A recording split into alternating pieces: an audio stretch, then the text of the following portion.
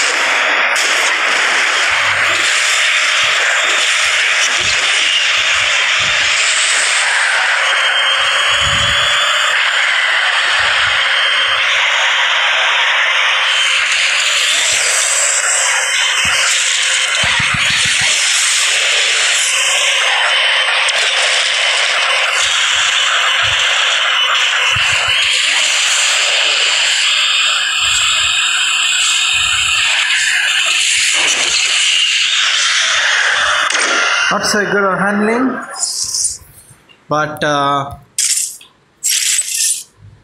not a good class to top the D class. Not a good car to top the D class